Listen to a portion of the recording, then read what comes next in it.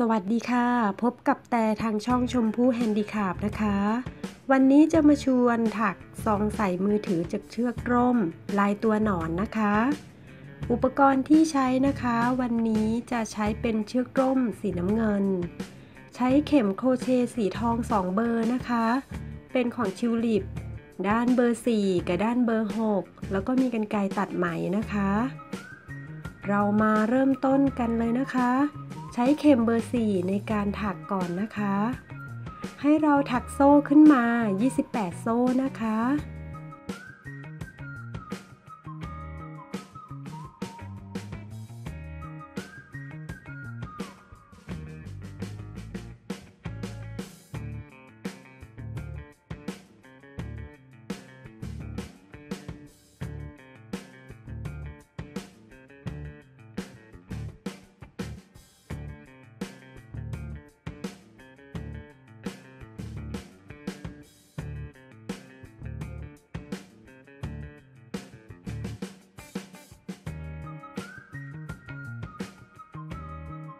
เมื่อถักโซ่ขึ้นมาครบ 28 โซ่แล้วนะคะ ให้ถักโซ่หนึ่งครั้งแทนหลักแรกของการขึ้นแถวใหม่นะคะ จากนั้นถัก X หรือถักควักธรรมดา กลับมาจนสุดแถวเลยนะคะ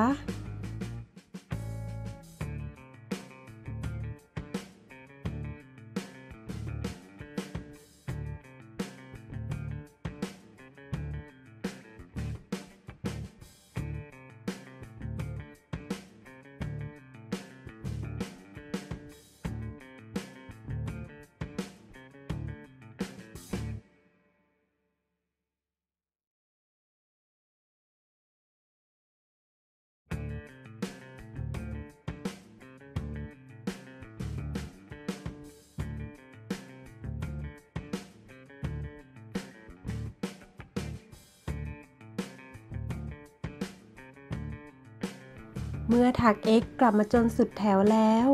ในหลักสุดท้ายนะคะ ให้เราถัก x ซ้ำลงไปอีก 2 ครั้งนะคะ รวมแล้วในหลักสุดท้ายเราก็จะถัก x ลงไป 3 ครั้งเลยนะคะ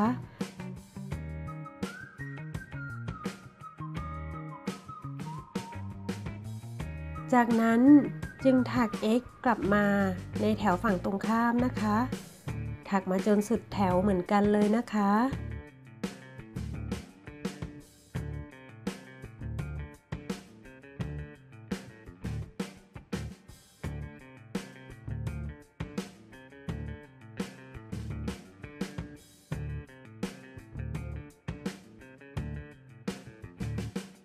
เมื่อถักมาจนสุดแถวแล้วก็จะครบหนึ่งรอบพอดีนะคะ ก็ให้เราถัก x ลงในหลักสุดท้าย 2 ครั้งนะคะ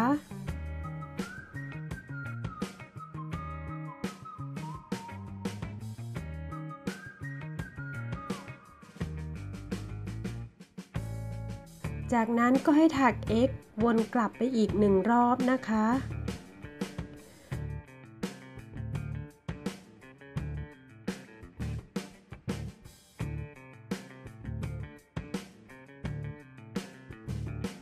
เมื่อถึงหลักที่อยู่ด้านข้างก็คือสุดแถวนะคะ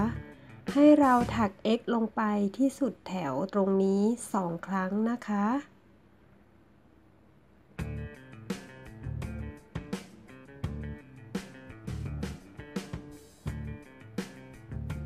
ถัก x กลับไปจนสุดแถวเลยนะคะ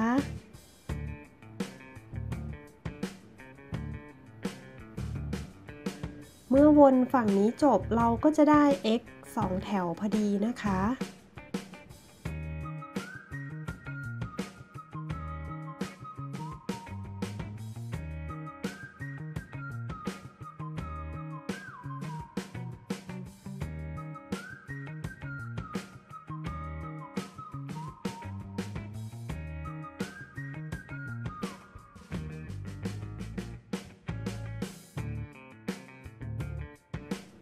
ตำแหน่งด้านข้างนี้เลยนะคะ ให้เราถัก x ซ้ำลงไป 2 ครั้งค่ะ จากนั้นในแถวที่ 3 เราจะเริ่มทำตัวหนอนนะคะ จะเปลี่ยนจากเข็มสีทองเบอร์ 4 ไปใช้เข็มสีทองด้านเบอร์ 6 นะคะ ซึ่งเป็นขนาดใหญ่ขึ้นมานะคะ ให้เราใช้เชือกร่ม พันที่ปลายเข็ม 10 ครั้งนะคะ การพันไม่ต้องแน่นมากเกินไปแล้วก็ไม่ต้องหลวมเกินไปนะคะ ถ้าแน่นมากเกินไปจะทำให้ถอดหัวเข็มออกยากนะคะ จากนั้นให้เราข้ามไป 2 ช่อง ไปถักลงในช่องที่ 3 นะคะ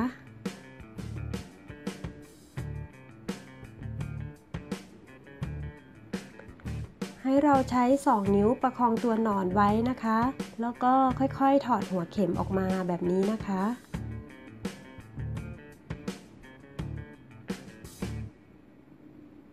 เมื่อได้ลายตัวหนอนแล้วก็ให้เราถักล็อกหนึ่งครั้งนะคะ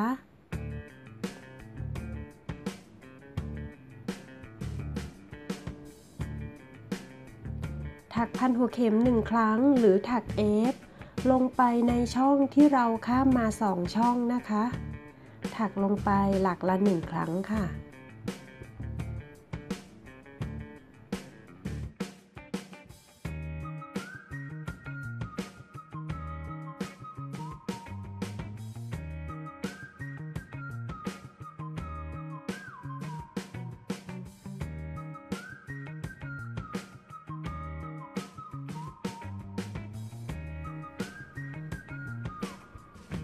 เมื่อถักเอฟลงไป 2 ครั้งแล้ว ก็จะได้ครบ 1 ช่วงลายก็คือได้เป็นตัวหนอน 1 ลายแล้วนะคะ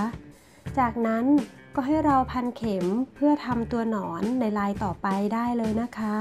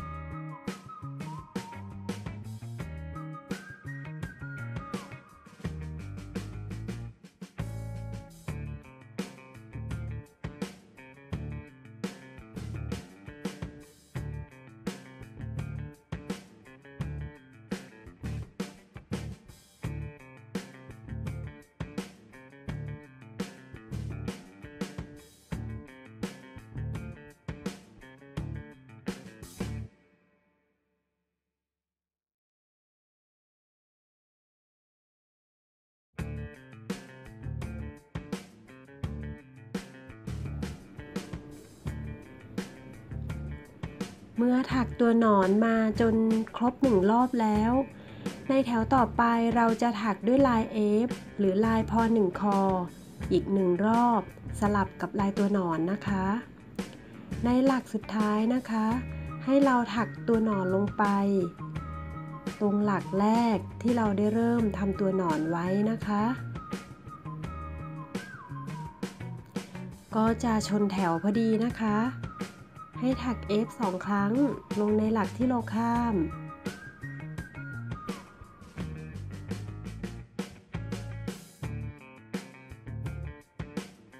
เมื่อถัก F สองครั้งแล้ว ให้เราไปลดห่วง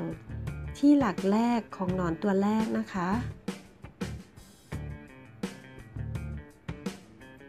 ก็จะเชื่อมติดเป็นแถวเดียวกันแล้วนะคะ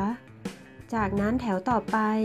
ให้เราถักลาย F หรือพอ1คอ สลับกับแถวของลายตัวหนอนนะคะ เริ่มต้นแถวนี้โดยการถักโซ่ขึ้นมา 3 ครั้ง แทนพอ1คอหลักแรก จากนั้นให้ถักพอ1คอหรือถัก F วนไป 1 รอบนะคะ ถักไปหลักละ 1 ครั้ง จนวนมาชนกับจุดเริ่มต้นนะคะ จากนั้นเราจึงถัก ลายตัวหนอนในแถวต่อไป สลับกันแบบนี้ 4 แถวนะคะ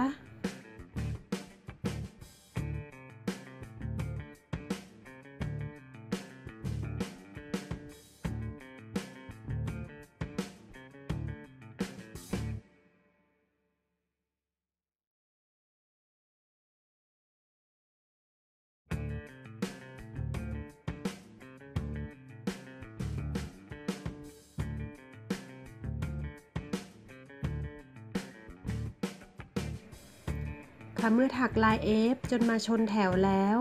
ก็ให้เราลดห่วงเพื่อเชื่อมติดแถวกับหลักโซ่ 3 ซึ่งก็คือหลักแรกที่เราได้เริ่มต้นไว้นะคะ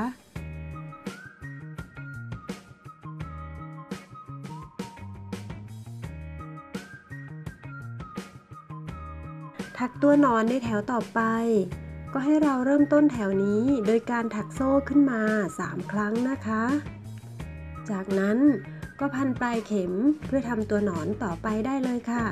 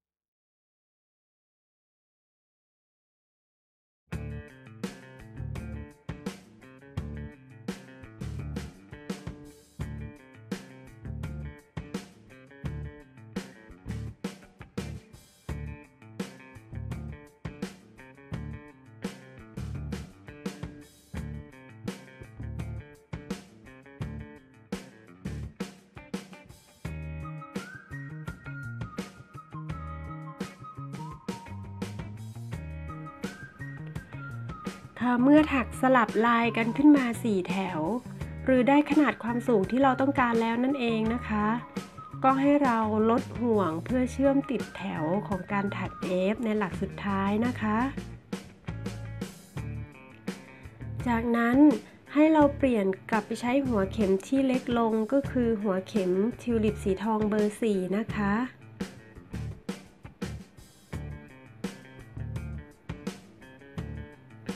เราจะปิดชิ้นงานปากกระเป๋า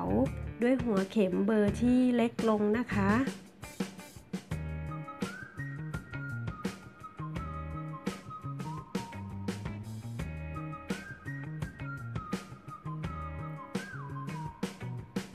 ในแถวต่อไปนะคะ ให้เราถักปิดชิ้นงานด้วยการถักลายควักธรรมดาหรือถัก X นะคะ ก็ให้เราถักลาย X วนไปจนได้ 4 รอบนะคะ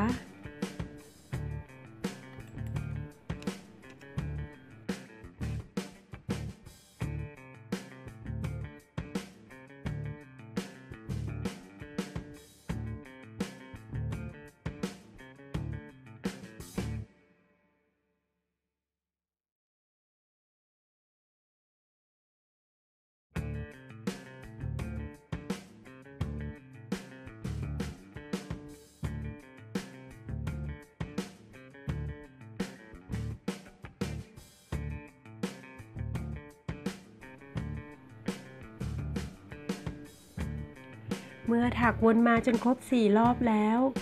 ก็ให้เราตัดปลายเชือกล่ม และเก็บรายละเอียดปลายเชือกล่มนะคะ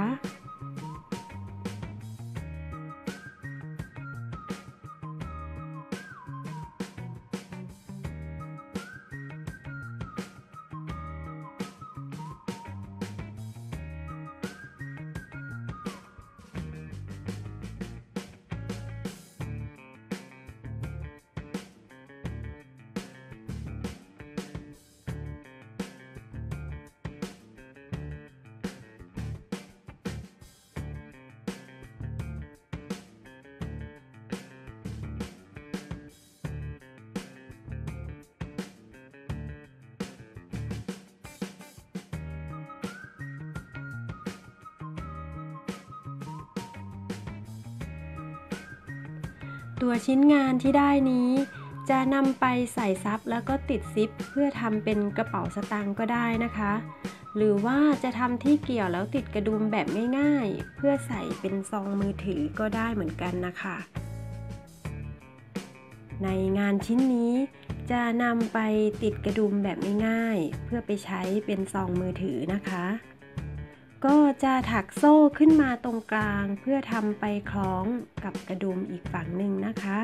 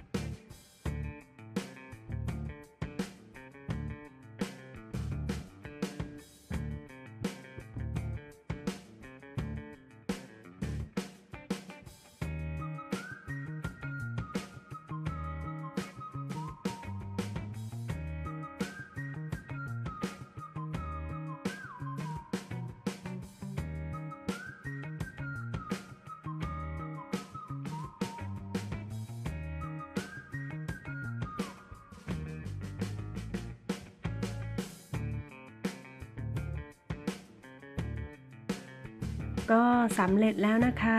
กระเป๋าถักโคเชเชือกล่ม ลายตัวหนอนสำหรับใส่มือถือของเราค่ะ ไม่ยากเลยใช่ไหมคะ ยังไงก็ลองไปทำตามกันดูนะคะสำหรับคลิปนี้ขอบคุณมากนะคะที่ติดตาม อย่าลืมกด subscribe เพื่อเป็นกำลังใจในการทำคลิปด้วยนะคะ ขอบคุณมากค่ะ สวัสดีค่ะ